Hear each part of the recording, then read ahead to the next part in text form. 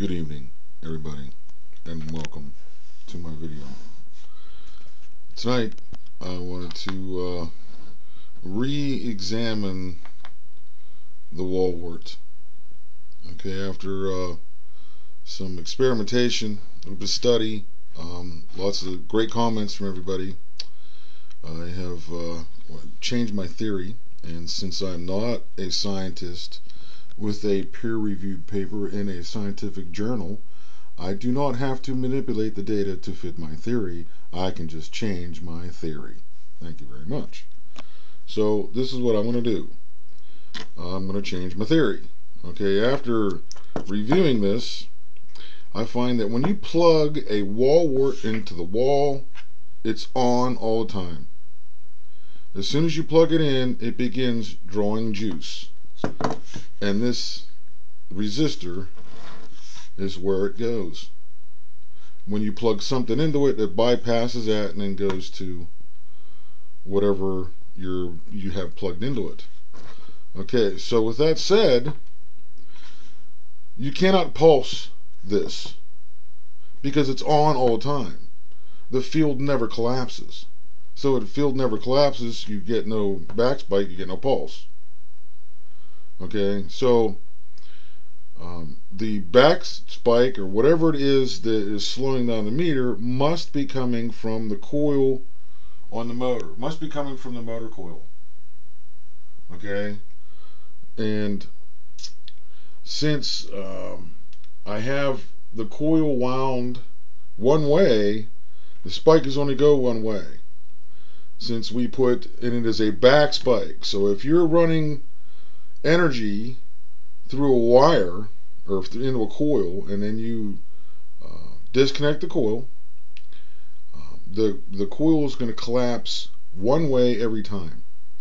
And since it is a back spike it's going to come back down the wire where the energy originally came from. Okay so it's not pulsing back to the negative wire it's pulsing back to the positive wire and then that is uh, creating induction because it stimulates the secondary and creating a, a, an induction into the primary which is going to the grid. So if your spike um, I'm going to go out on a limb here and say if your spike is uh, say 250 volts anything over 120 volts is going to affect the meter Okay, so if you can pulse, your your pulse is uh, over 120 volts back to the transformer. Of course, it would it would be even. It would even itself out. So when you when you come back through here, well, actually, since this is a 12 volt, anything over 12 volts is going to stimulate this and uh, induce a current in this, making it, well, 12 volts would make this 120 volts.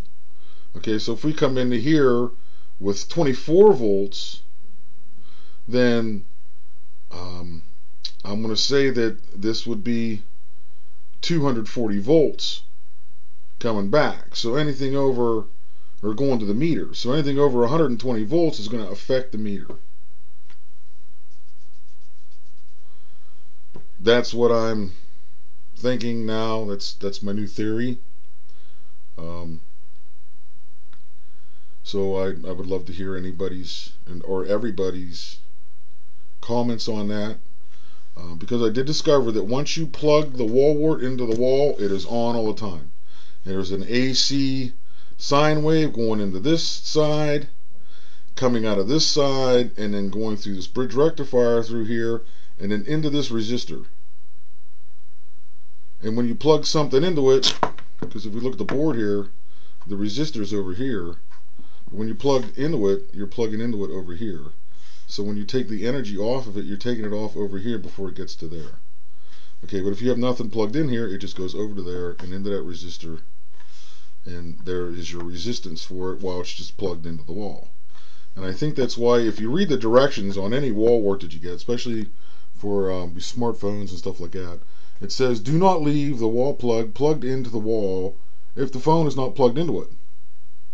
And I think that's why, because you'll you'll fry the the uh, uh, resistor in there eventually over time, depending on how well the the wall transformer is made.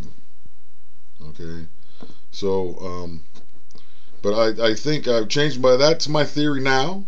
Um, yeah, let me know what you think.